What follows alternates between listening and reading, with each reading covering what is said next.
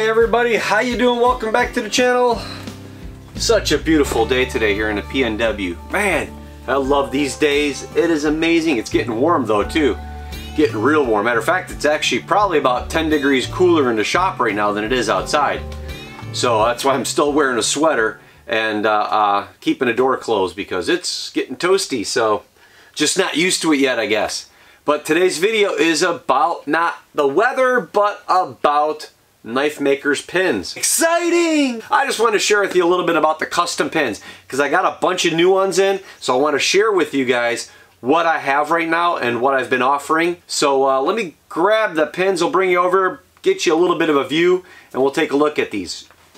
So what I'm thinking, what might work the best is if I just show you right here because I've got them all here on the side right now and that'll be good to go. But I'll have to get these. I got some Coyotes here. Got some Coyote Works knives we've been working on. Matter of fact, um, Tyler has been out uh, helping a little bit here in the shop and he actually worked on these Coyotes and I gotta say, did a really good job. I did the choils on these, but he did a really good job uh, cutting them all out on the grinder and shaping them all and uh, clamping them and getting that, that nice curve of that broomstick handle in there and the blade swoop.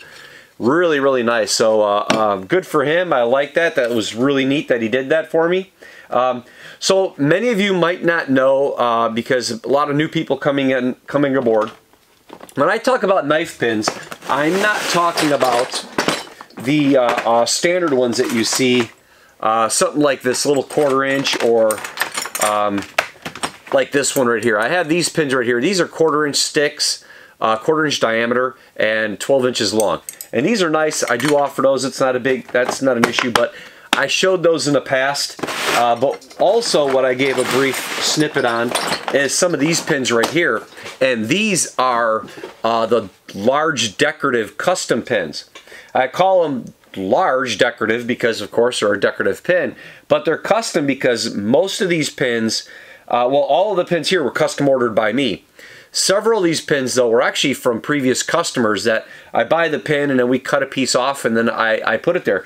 So once I've ordered your pin, if it's something that you thought would be really neat, I get it made and then I have them here. So I have extras so then I, I can use that for your knives. Um, some of the pins you guys have seen in the past, like the Warrior Poet Society pin. You've seen those. Um, I did the uh, sniper pin on Rob Turkola's um, knife from uh, Lunkers TV. I did his here.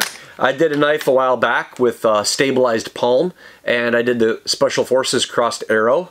Um, I haven't done any knives yet. This is the uh, uh, regimental crest from the from the U.S. Army uh, Special Forces. I haven't done any knives on that per se. Um, you have seen knives in the past where I did with the, uh, um, I got the uh, 10th Mountain Division pin as well as the uh, Army's 3rd Infantry Division pin. Uh, that right there, I think they call it the Broken TV or something those guys were talking about. Um, you have seen the Marine Corps pins in the past. I get it in that uh, black with nickel silver as well as the brass and red. Uh, the red and gold is what the Marine Corps was kind of known for.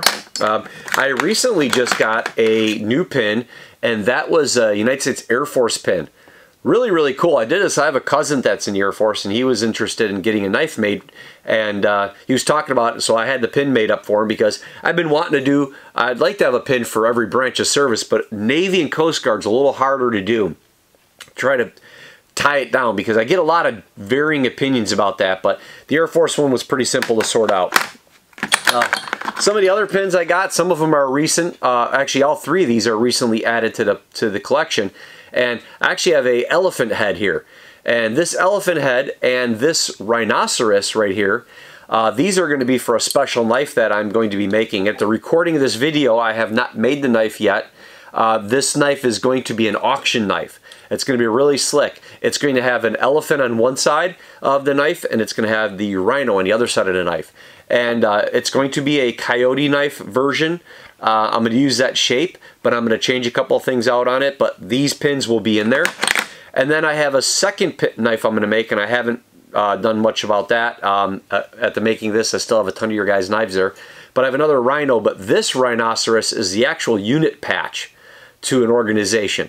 And that's their patch there. So I'm actually going to make them. I think that's going to be a renegade or it's going to be a rogue.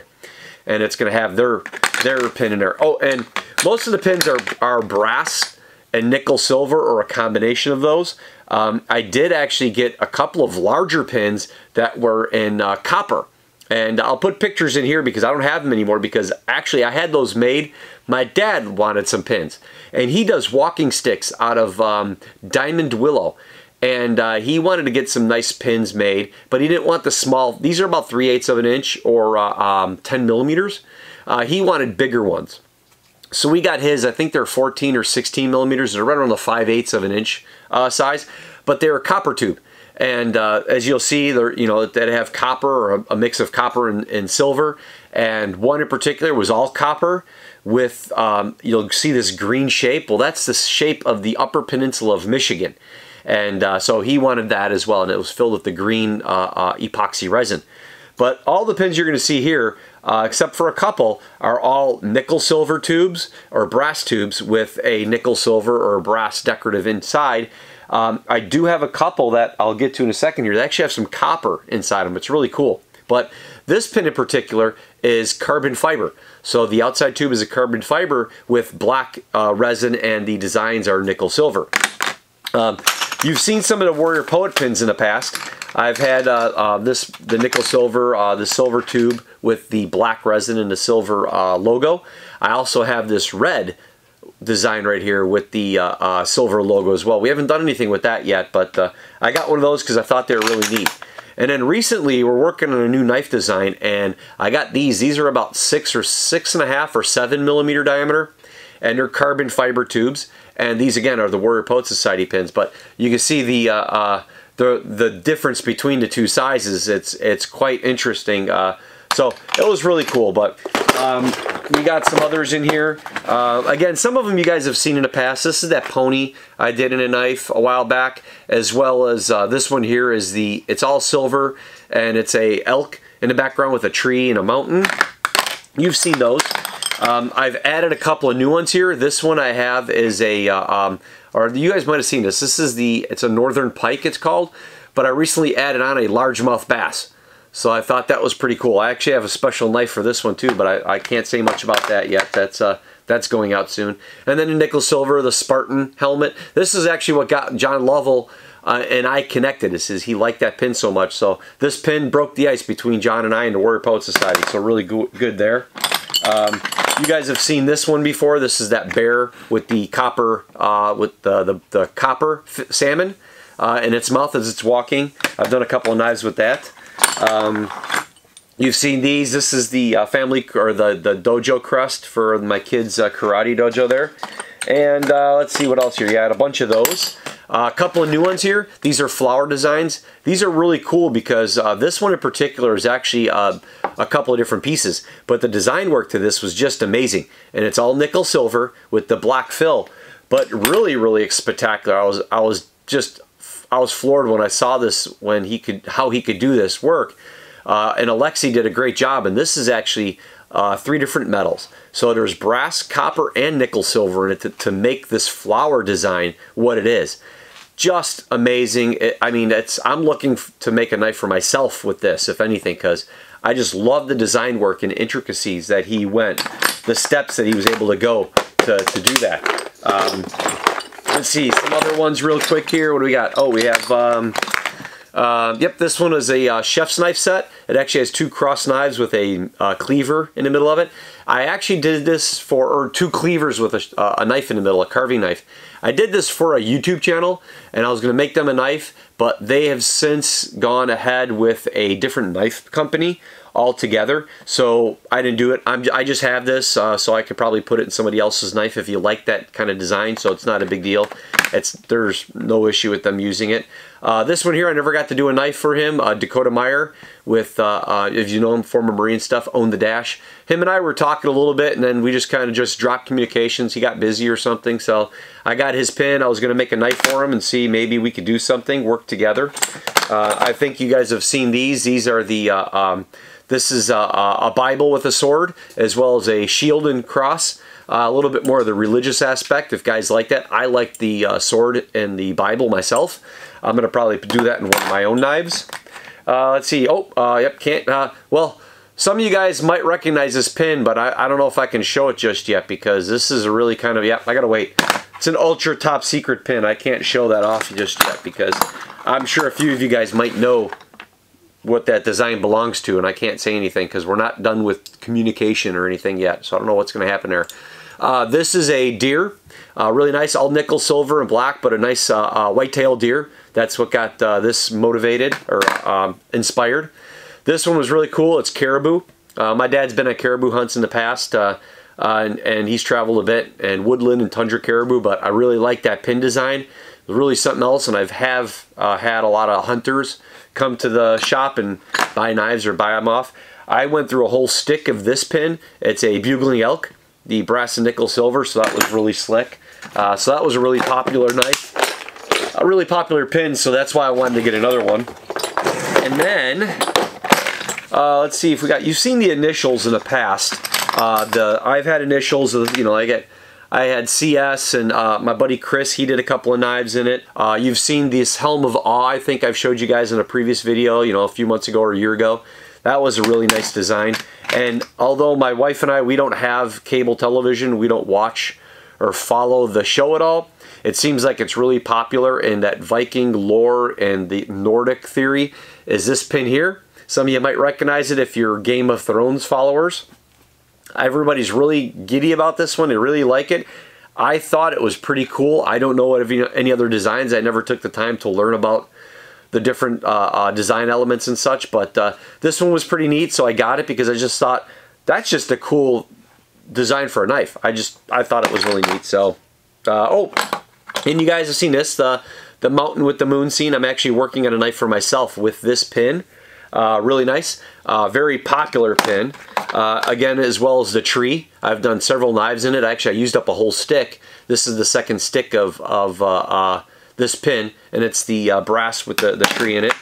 Um, oh, yeah, I was inspired. There's a gal, Becca Garris. Is She's on Instagram and on, on Facebook, and I've been following her for a while. Her husband's a, a police officer, so they get my support there, you know, twofold. She's outdoors woman. I really like that uh, does a lot of archery, and she's actually uh, sponsored by Bear Archery to Bear Bows. They, they're actually recurve bows. Uh, Fred Bear was his name originally. He's passed away a long time ago, but uh, between her and a gal I follow on on uh, um, Instagram, she goes under the, the name PNW uh, underscore Huntress, and she's out here in Washington State near me, and we always cross.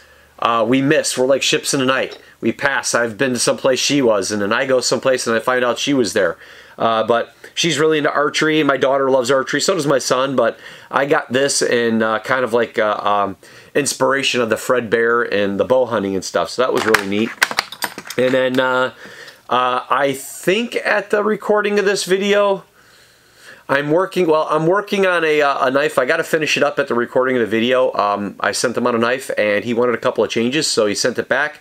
I got to make those changes and mail it out to him. I'm not sure if his video is going to come out or what happens, but you guys might recognize that pin. I can share this at least. I'm just not going to say the name just yet, but that's pretty cool. That is a Badger. So uh, I like that design. That's really slick. So but that is it. There's only one pin I can't show you in there uh, is because uh, I'm not sure what's going to happen with that. That's uh, a tight guarded secret right now. I'm supposed to make a knife for that organization and uh, that band. And uh, um, not sure if we're gonna what's gonna happen with that. So hopefully it does happen. Hopefully I can do it this year in 2019. That'll be kind of neat. I'm excited about it. But I just wanted to share the pins with you with you know the pictures and stuff like that to show you what I'm offering and the changes going on here at CK and Tool and I, how I'd just like to really be able to offer you guys uh, a lot of things to help customize your knives, help them make them yours. Uh, so, and this is also a shout out to my buddy Alexi because uh, without his uh, um, hard, hard work. I mean, the guy works long, long hours and uh, um, really great customer service. At least my experience has been great customer service, but you have to be patient because he is a one-man shop like me and he just works crazy hours. He's out in Siberia and that's where all these pins are made. So Alexi, thank you very much. Um, it's uh, custom mosaic uh, pins. I think it's uh, how he goes by or, or uh, um, custom knife pins, something like that. I I, I, forget what the Facebook or the Instagram handle is because I just know where to go. And I've been using Alexi for two and a half years now. and by far a really, really hardworking guy and uh, uh, great customer service on my part, but it's about a three to four month wait. So when I order pins, if you're ordering a knife from me and you want a design made, um, it takes three or four months just to get the pin. So that really delays the knife because I got to make sure I get the, the right size pin to be able to finish the knife because I have to drill that hole a certain size. I just can't make everything and glue it all together and just wait for the pin to show up because I have to make sure I have the right size drill bit. Uh, most all these, actually all, pretty much all of them are right around that 10 millimeter. Uh, so that gives me a letter bit. I think that's a, uh, um, uh, a WX, it's a Y bit I think it is, is what I use to make most, most of these. The new Warrior Poet pin, that's about a six and a half to seven millimeter. I'm gonna have to get a couple of letter bits and, and millimeter bits to kind of drill it because you want that hole to be just a thousandth of an inch bigger so you can get the pin in there and allow room for a little bit of epoxy to, to bond but not leave such a big hole that you got a big black gap around your pins. That's not good. Again thank you. Uh, the video probably went a little bit too long but I do appreciate your patience. Uh, like share subscribe all the good stuff. It really does help. It keeps me from the bottom of the YouTube bucket. And uh, look out for the next video gang. You take it easy. Have a good one. Bye